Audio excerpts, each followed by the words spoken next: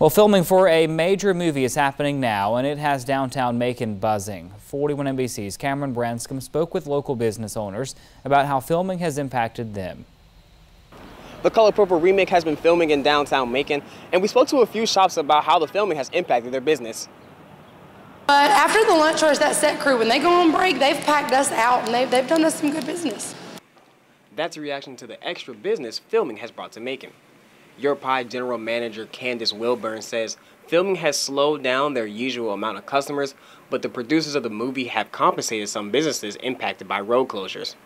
Mike Seekins is the owner of Famous Mike's on Poplar Street. He says filming has caused some inconvenience, but overall he's happy with how everything was handled. Very exciting. I think it's great for Macon. Um, it has affected it in ways, but like I said, they make sure that you're compensated and I'm, I'm pleased with the whole situation. It just so happens that Theatre Macon is getting ready to put on their production of Color Purple musical.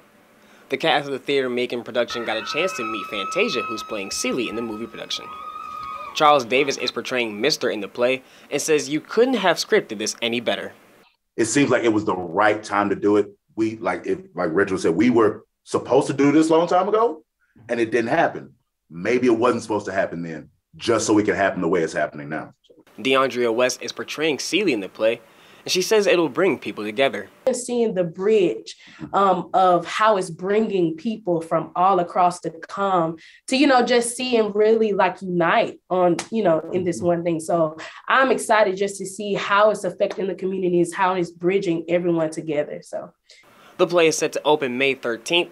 Tickets go on sale this Monday. Reporting in Macon, Cameron Branscombe, 41 NBC News.